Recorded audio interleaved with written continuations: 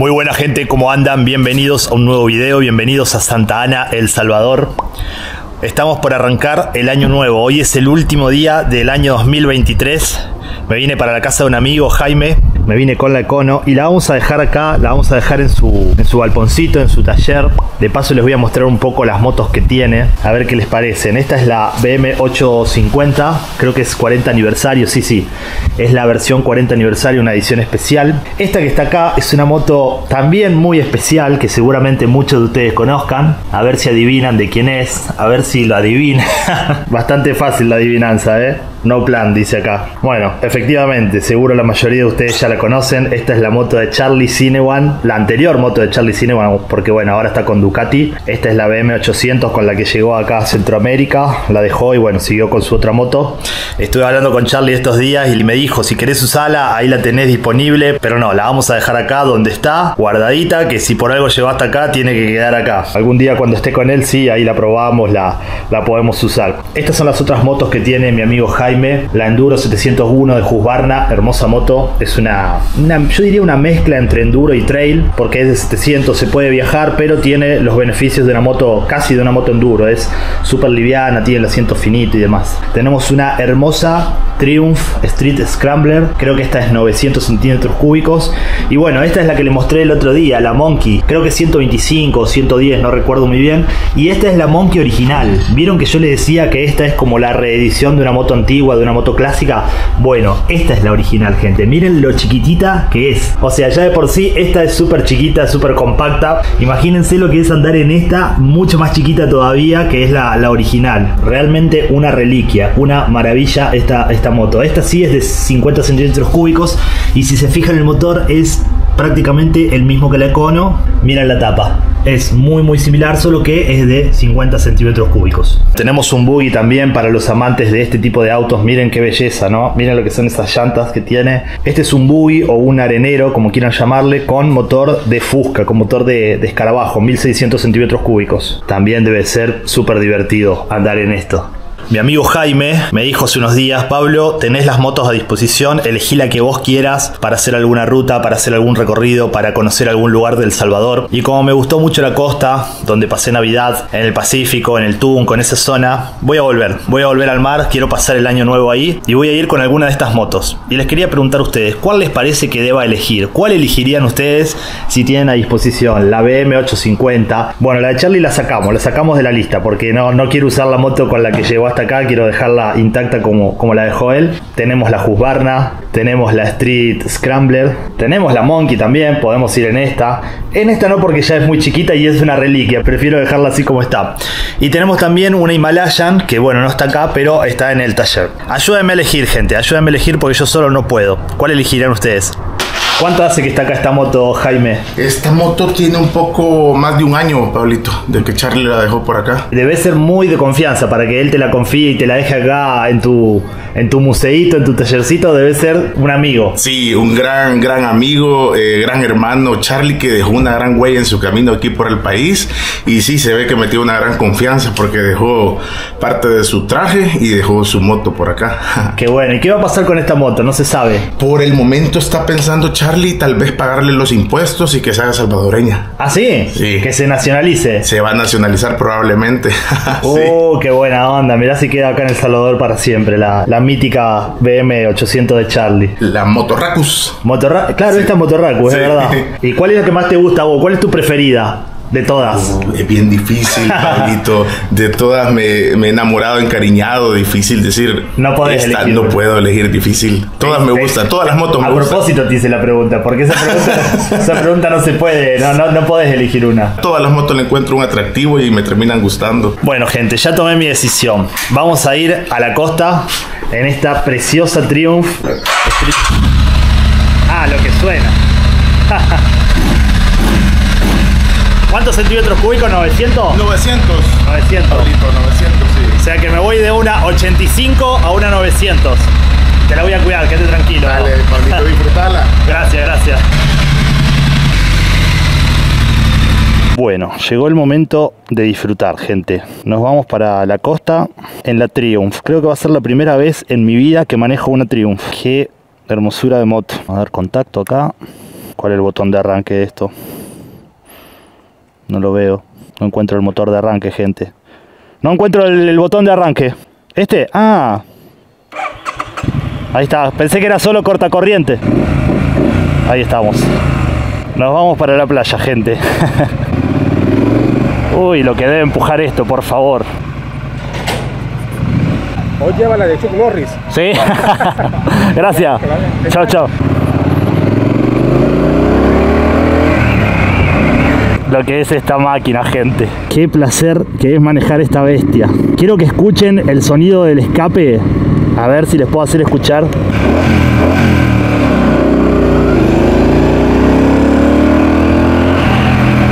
No, no, no, no, no. Voy a cargar combustible y voy a revisar la presión de las cubiertas que me dijo Jaime que le ponga 30-30. Para inflar la rueda tenés acá. Sí, pero le puedo pasar la manguera a este lado. Ah, bueno, ¿Hacia dónde se dirige? hacia el Tunco, Ah, el Tunco. ¿Y de dónde viene? de Argentina. Ah, ok.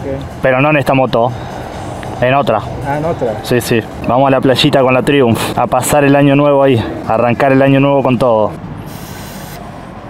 Vamos a revisar la delantera también, por las dudas. 6 por acá. Buen viaje. Gracias hermano, gracias, feliz año.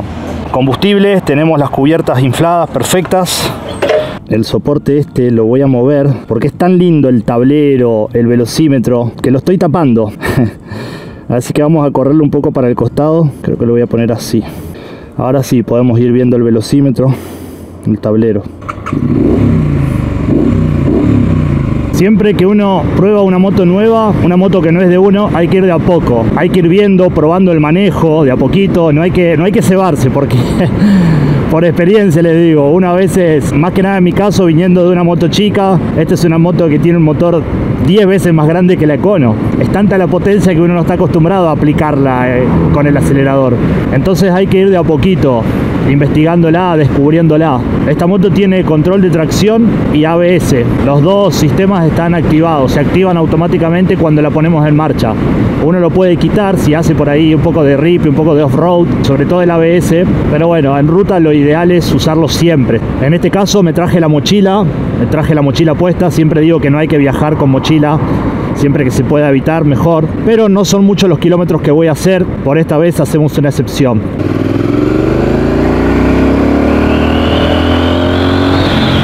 Otra característica de esta moto es que tiene 5 marchas, la Econo tiene 3, pequeña diferencia. Tranquilamente en segunda con esta moto llego a la velocidad final de la Econo, que es 70 km por hora. Es increíble el cambio en el manejo cuando uno está acostumbrado a una moto, sobre todo una moto tan chica como la mía, agarrar una moto de esta. En estos momentos estoy yendo a la velocidad que viajo con la Econo, a 60 km por hora.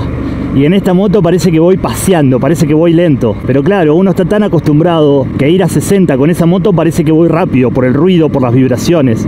Pero en esta moto que tiene otro, otro confort, otro andar, 60 km por hora en realidad sí, vas paseando, es la, es la verdad.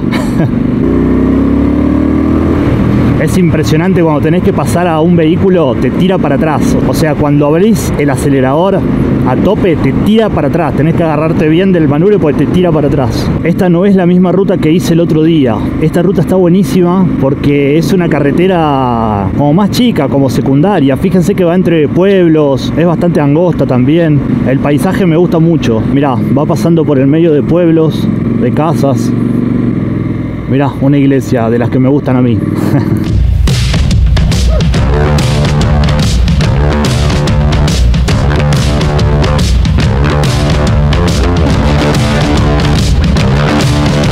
Esta parte se pone espectacular. El otro día la disfruté muchísimo con la Econo y bueno, hoy con esta moto, digo la verdad, se disfruta mucho más. Porque podés ir un poco más rápido, podés tomar las curvas con un poco más de velocidad. Se disfruta muchísimo el manejo. Es un placer manejar esta moto que no les puedo explicar. Y aparte hay otra gran diferencia. Con la Econo voy siempre cargado, siempre con mucho peso atrás y el manejo se hace más difícil, obviamente. En cambio con esta moto voy livianito, no tengo nada de carga salvo la mochila que llevo puesta y nada más. Entonces eso hace que la moto también sea mucho más maniobrable, que la puedas acostar más, que la puedas, puedas hacer lo que quieras.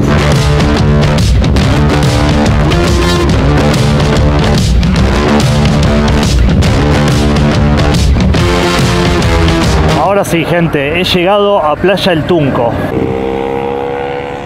Qué linda es esta playa, por favor. Acá pasé la Navidad y acá pasaré el Año Nuevo. Vamos a repetir la fórmula. Bueno, me vine a la playita a darme el último chapuzón del año y a ver la última puesta del sol del año. Este debe ser uno de los lugares con mejor puesta del sol que he conocido en mi vida. Es impresionante, así que simplemente quería eso, quería terminar el año de esa manera, mirando la puesta del sol, que justo en este momento está cayendo, y tomando unos mates, ya que me regalaron el otro día este equipito, pasarla simple nomás, acá en la playa. Más tarde capaz que me encuentro con unos chicos de, de Perú y de otros lugares, y bueno, ahí sí le vamos a meter un poco de joda, pero ahora quería, quería pasarlo acá en la playa.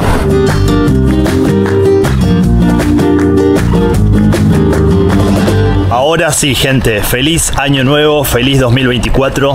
Para mí, en realidad, para ustedes ya hace unos días que es año nuevo, que es 2024, pero bueno, para mí hoy estoy arrancando un nuevo año. Anoche le metimos un poco de jodo, un poco de fiesta, hoy más tranqui, ya me vuelvo para Santa Ana. Como siempre, en el principio de cada año, amerita desearles lo mejor en este 2024. Principalmente dos cosas les quiero desear. Primero, que tengan la fortaleza para enfrentar esos sueños, esos retos, esos anhelos, esos objetivos que tengan y segundo, que tengan constancia también, que esa motivación del inicio la puedan mantener el tiempo con constancia y de esa manera lograr las metas, los objetivos que se propongan. Y me dejaron un mensaje en Instagram que fue sencillo pero motivador. El mensaje decía felicidades en este año, feliz año nuevo y la última parte decía a ver hasta dónde llegás en este 2024.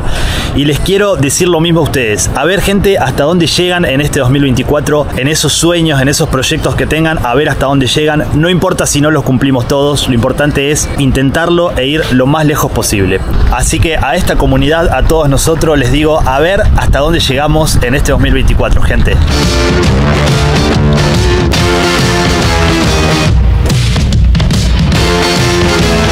Nuevamente estoy en Santa Ana. Ha sido un placer manejar esta moto. Empezar el año, el 2024, manejando esta verdadera nave.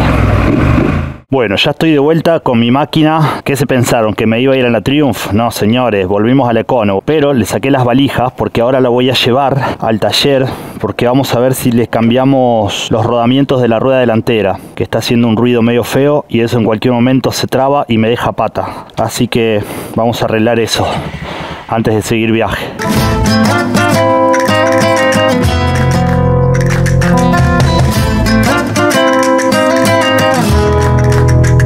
Adentro Martín. No, no, pasa, pasa. Buenas.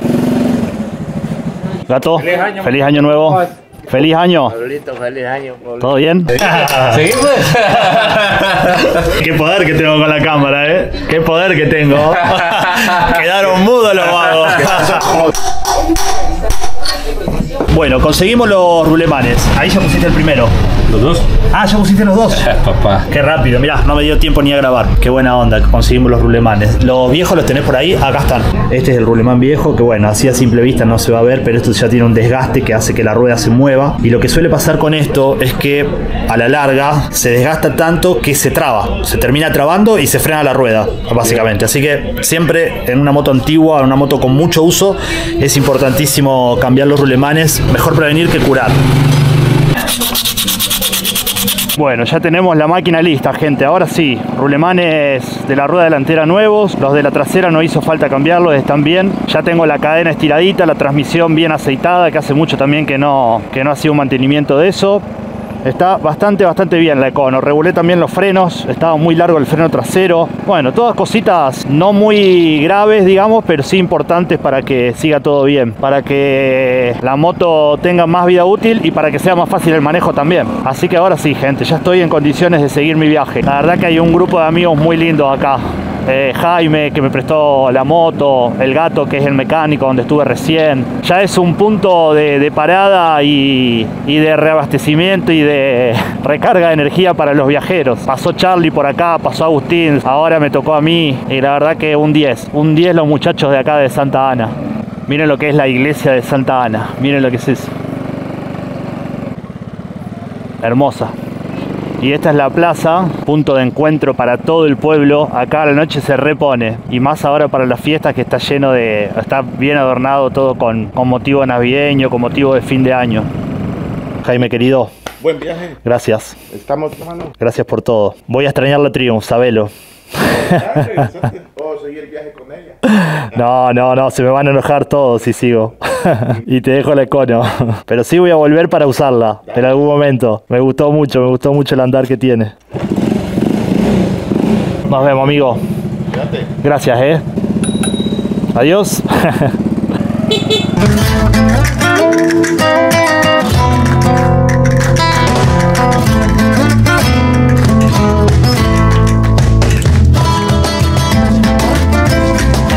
He llegado a Playa El Sonte. Parece que todos los caminos conducen a la playa.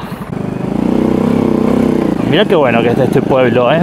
Parece mucho más natural que, que el Tunco. Fíjense que las calles son de tierra. Está como todo mucho más desparramado en este, en este lugar. Quiero ver algo. Ay, Pablito, Pablito. Mirá. Fue abierto todo el viaje esto. Que es lo más liviano, que es el, el lector de libros digital. No se perdió. Creo que no perdí nada. Desde Santa Ana hasta acá. 100 kilómetros con el baúl abierto. Esto no está bien. Mira cómo se mueve. Voy a tener que revisarlo. Bueno, ya conseguí un lugar acá en el Sonte. Son como unas. como unos glamping, creo que se llama. Son como unos iglú, así de paja, bien naturales nomás. Ahora se los voy a mostrar. Y bueno, sale mucho más barato que un hostel y que un hotel, ni hablar. 50 dólares los tres días. Así que me voy a quedar tres días acá, seguramente. Antes de irme para, para Guatemala. O para el lado de Guatemala. No sé si ya voy a cruzar o no, pero bueno. La verdad que está lindo el lugar. Ahora se los voy a mostrar. Miren cómo, cómo son, todo de, de madera y de paja. Esta es la cama, tengo esta mesita de luz, tengo wifi, eso es importante. Y tengo este, este ventiladorcito que creo que me va a salvar en caso de que haga mucho calor. Vamos a apagarlo. Así son de afuera los glamping. Está ese ahí, está este acá. Vamos a cerrar acá. Hay un poco de ruido también, porque se ve que están haciendo, están construyendo ahí. Esperemos que a la noche no siga ese ruido.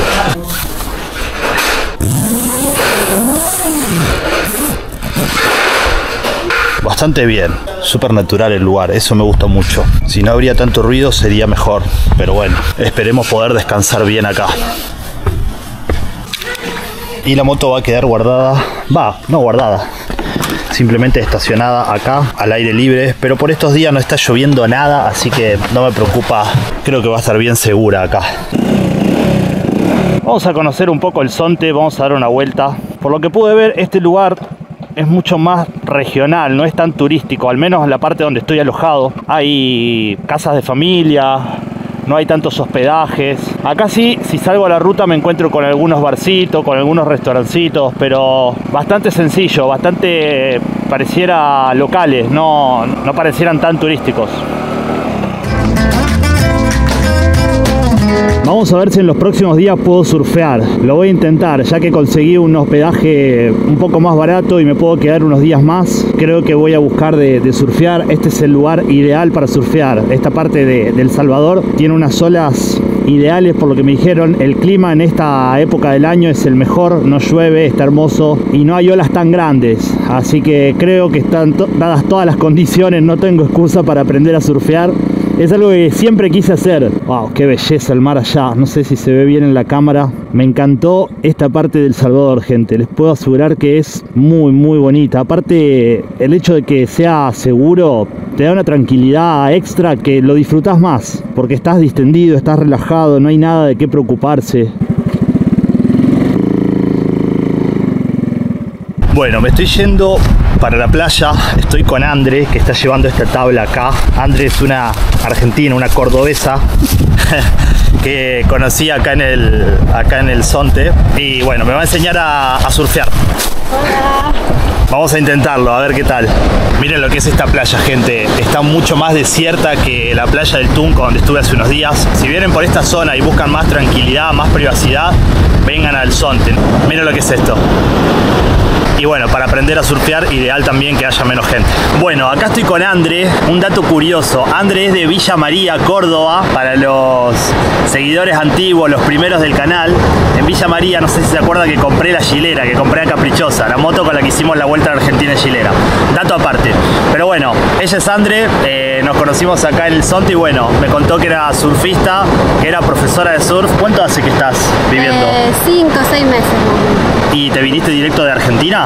No, me vine desde Chile, eh, que es ahí donde vivo regularmente. Viajé por Costa Rica y ahí me vine al Salvador. Acá doy clases de surf y estoy trabajando con un proyecto de salud y educación menstrual para las niñas. Bueno, vamos a dejar acá abajo el lista de el lista de Andre por si ustedes llegan a venir, quieren tomar alguna clase de surf o bueno, la quieren contactar a ella, ahí está. Vamos a hacer una clase de surf básica para principiantes de una hora con todo lo necesario para que él pueda disfrutar y aprender este hermoso deporte. Por fin, gente, primera vez en mi vida que voy a intentar surfear. Terminó la charla técnica, ya nos revolcamos un poco en la arena, ya me estuvo enseñando Andre, así que ahora al agua, ¿eh? Ya está, de una, nos metemos.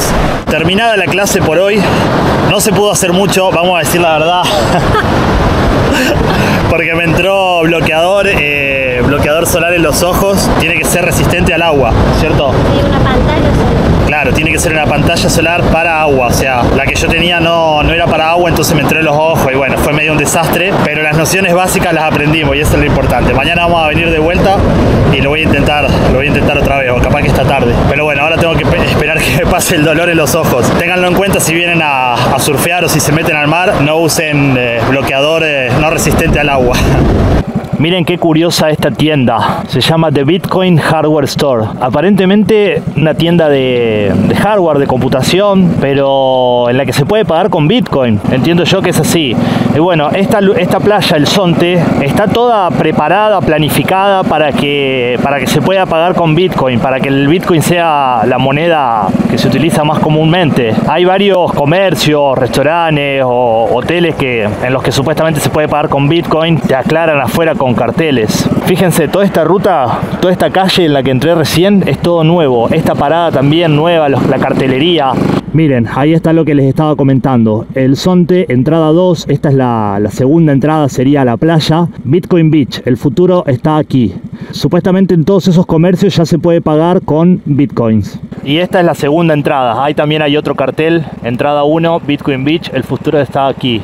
El Sonte hasta hace unos meses era todo, todo camino de tierra, todas calles internas de tierra, no había asfalto, no había nada. Esto que están viendo acá, este pavimento, los cordones cuneta, la, la ciclovía ahí al costado, la cartelería, todo esto es nuevo y se hizo para el concurso de Miss Universo que se llevó a cabo acá en El Salvador hace, unos, hace unas semanas apenas. Fue en noviembre o casi diciembre de 2023 y como a las concursantes se las trajo esta playa, no sé si para grabar o para mostrarles más El Salvador y demás, se hicieron obras, se pavimentaron algunas calles y bueno, esto ya, ya quedó para el pueblo, es algo bueno. También el detrás de escena me dijeron que acá se le colocó a una casa humilde que hay acá, se le colocó esta chapa para que no se vea para que no se vea la casa. No se enojen los salvadoreños que cuento esto, pero hay que contarlas todas. Yo considero que es algo positivo que haya venido Miss Universo, que se haya hecho el concurso de Miss Universo acá en el país, teniendo en cuenta que antes no venía nadie, que había mucha inseguridad, de repente que El Salvador se abra al mundo, me parece algo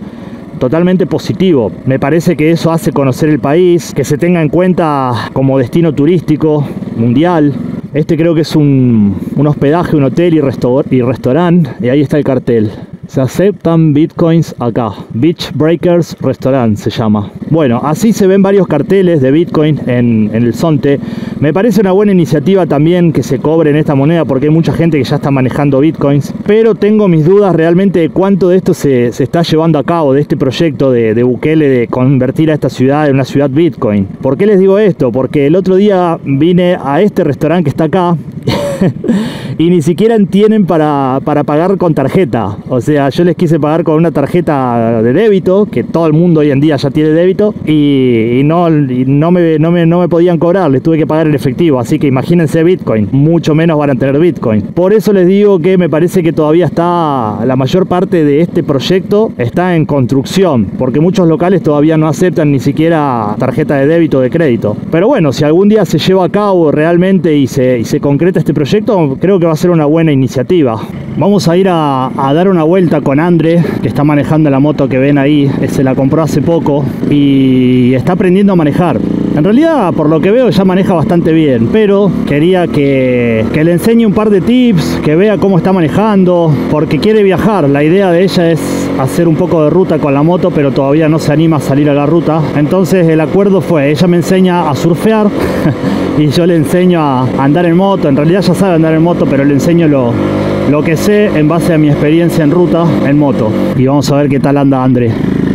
Eso que ven ahí que tiene al costado de la moto es el rack para llevar las tablas de, de, surf. Entonces por ahí va alguna playa que está por acá cerca y lleva las tablas con la moto. Tiene que ser una tabla no muy grande obviamente porque si no se complica. Pero así a lo largo de la moto se puede llevar tranquilamente.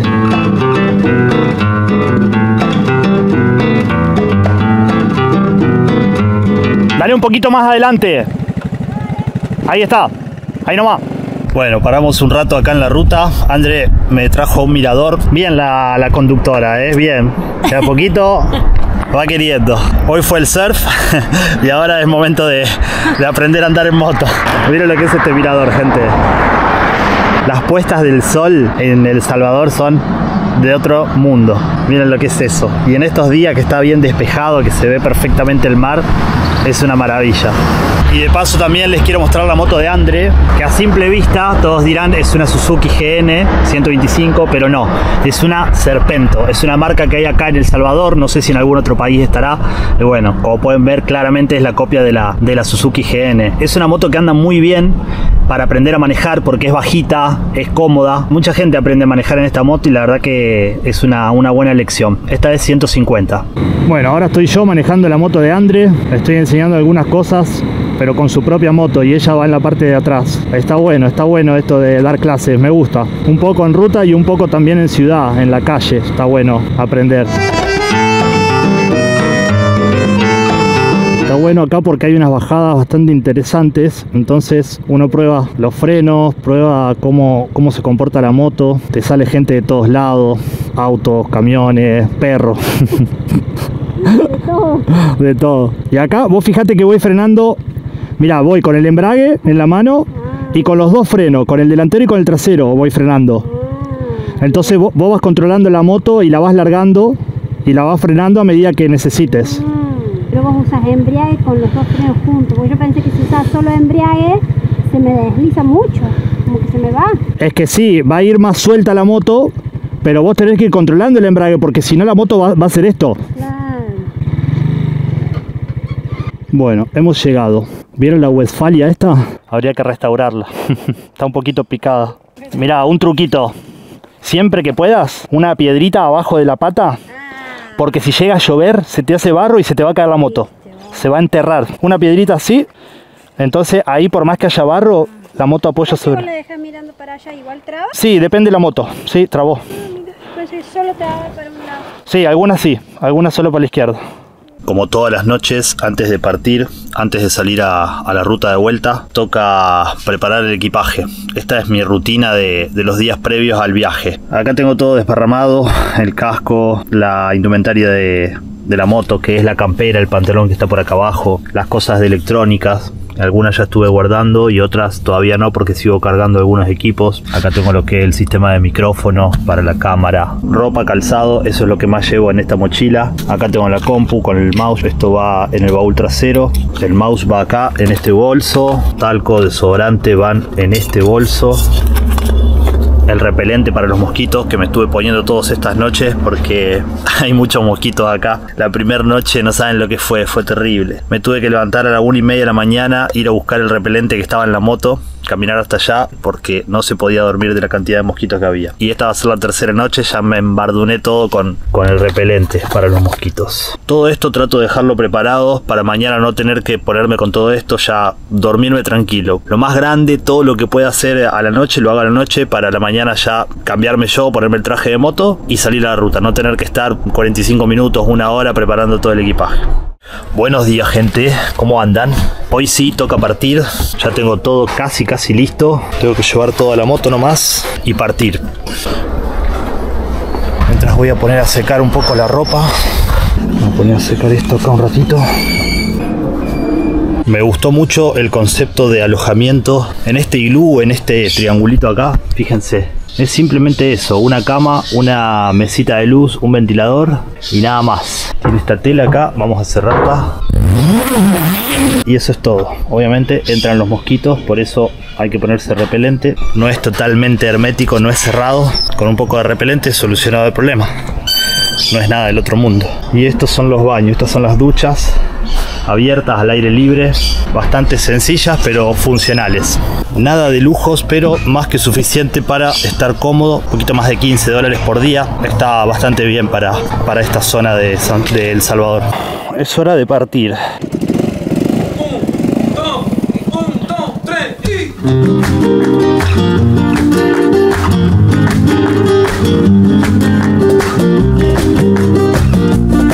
Mira este, mira este, mira este. Qué desastre, en contramano. En contramano y por la banquina venía. No sé por qué hay tantos vehículos, tanto embotellamiento acá. ¿Qué está pasando? Bueno, creo que pronto empieza una ruta de montaña. No sé qué tan brava será, pero tengo entendido que sí voy a subir. eh, Tengo que cruzar como una, como una montaña para llegar al valle, para llegar al otro lado de la montaña y de ahí sale la carretera para Guatemala. Yo no sé si llegaré a Guatemala en el día de hoy. La frontera no está muy lejos, pero últimamente las fronteras que he cruzado no fueron las más ágiles, las más tranquilas, fueron bastante bravas. Las fronteras de Centroamérica son bastante bravas, así que ya son las 2 menos cuarto. No, yo creo que ya hoy no cruzaré la frontera porque nunca se sabe cuánto se puede demorar y prefiero cruzarla de mañana temprano, cosa de que surja algún imprevisto, se alargue un poco la burocracia por algún motivo, tengo todo el día para solucionarlo. Seguiré avanzando lo más que puedo para quedar lo más cerca de la frontera posible y bueno, en los próximos días sí intentaré cruzar a, a Guatemala. Estoy sintiendo algo flojo. Me parece que se aflojó el cubrecadena. Estoy sintiendo un ruido abajo del, abajo del asiento. Voy a buscar algún lugar para parar y revisar eso, porque me parece que se aflojó y se está saliendo. Acá voy a parar. A ver. Uh, sí, mira. Uh, completamente salido. Uh, mira. Lo estaba perdiendo, gente. Miren cómo está esto.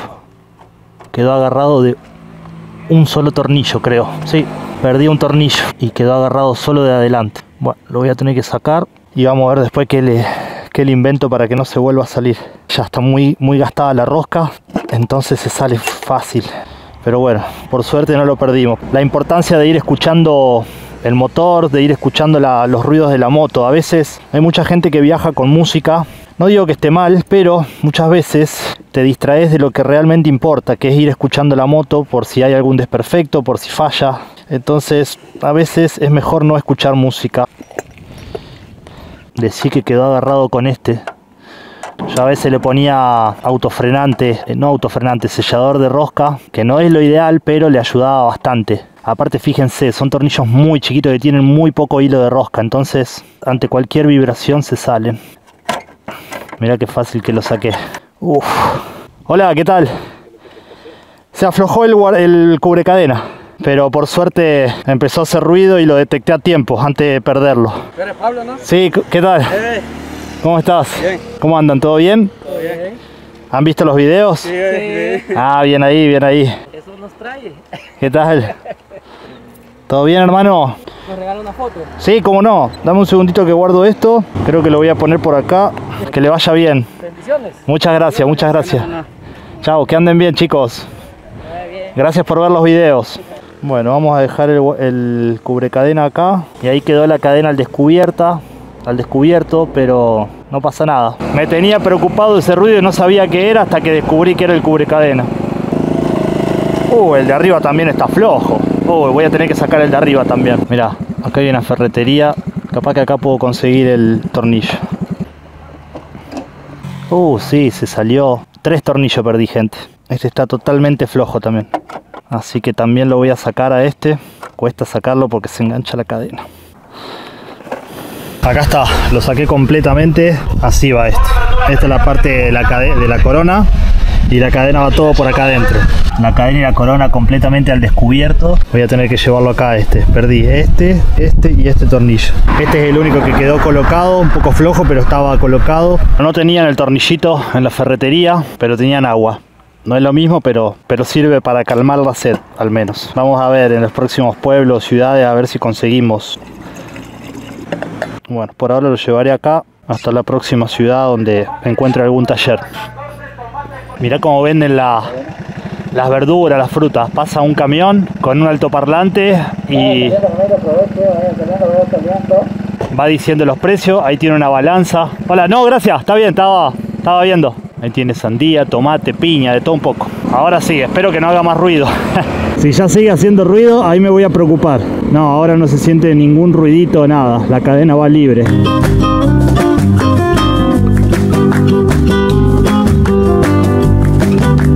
Bueno, parece que empezó la parte de montaña. Carretera sinuosa, eso quiere decir que estamos en la montaña. Que no sé qué tan alta será y, cuán pendientes son las, son las subidas. Esta acá empezó bastante empinada.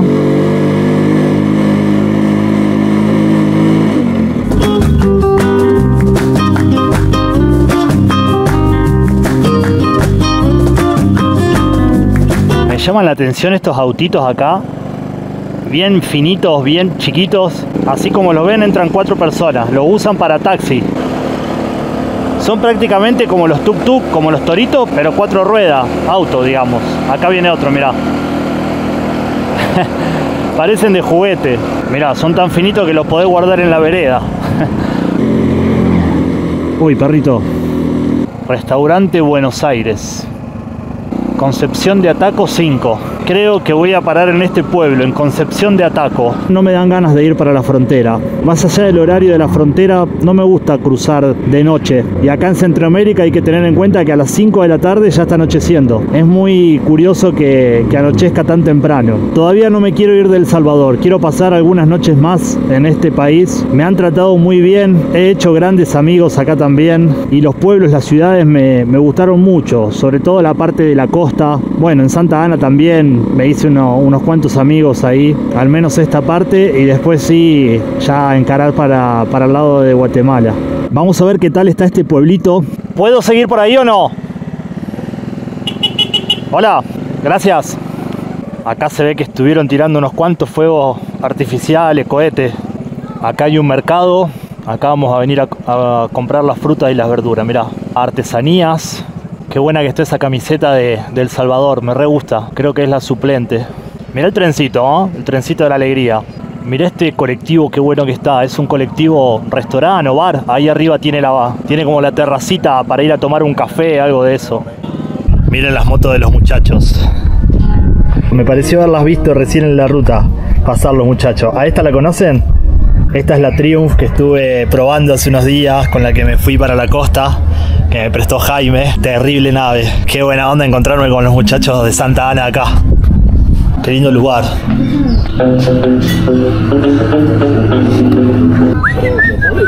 Buenas. ¡Muñeco! ¿Cómo va eso? ¿Qué hacen los vagos? ¿Eh?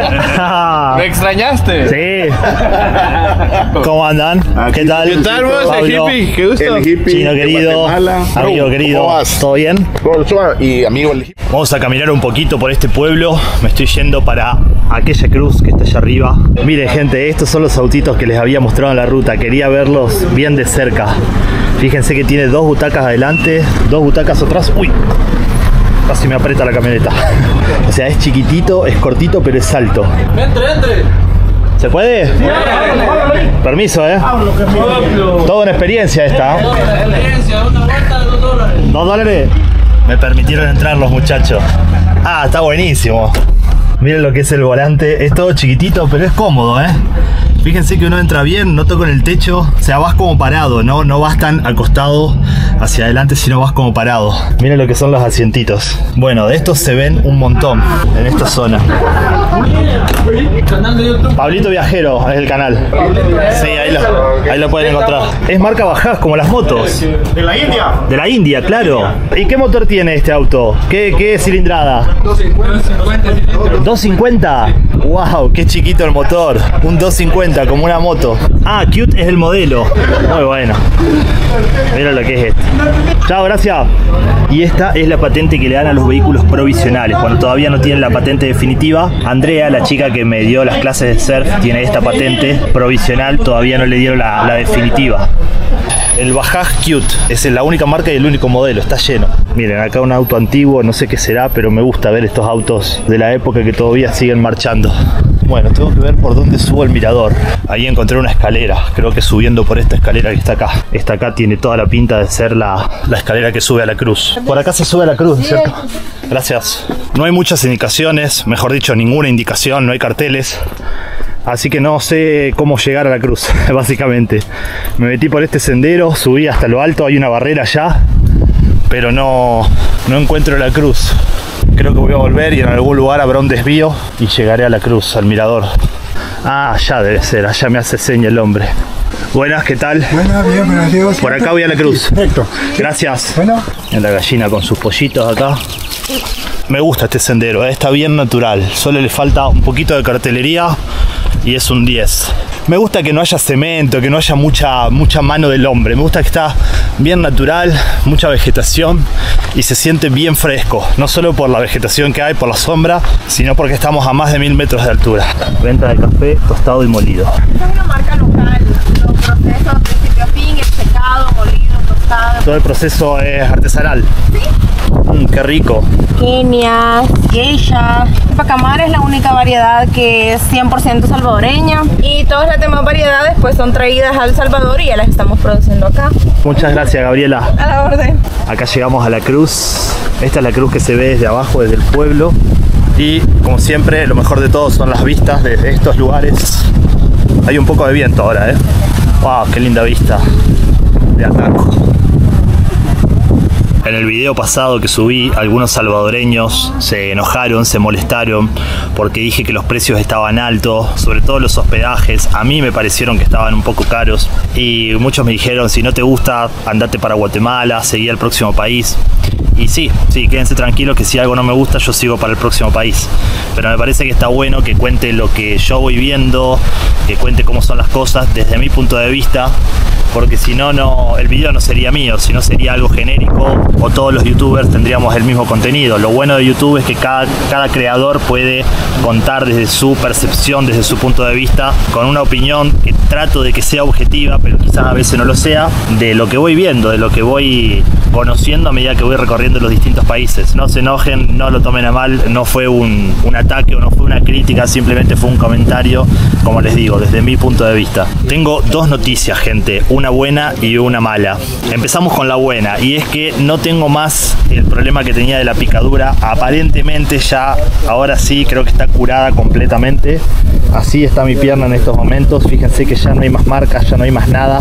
Creo que por primera vez en todo el viaje puedo decir que vencí a esta picadura o, o, bueno, no sé qué fue en realidad, pero bueno, como pueden ver ya apenas me quedó una marca del sol ahí y no tengo más lesión. La mala noticia es que me lesioné el otro día intentando surfear, me lesioné este dedo, no sé si se llega a ver en la cámara, estos dos en realidad me los apreté con, con el slish. El slish es la soga, esa que une al tobillo del que surfea con la tabla.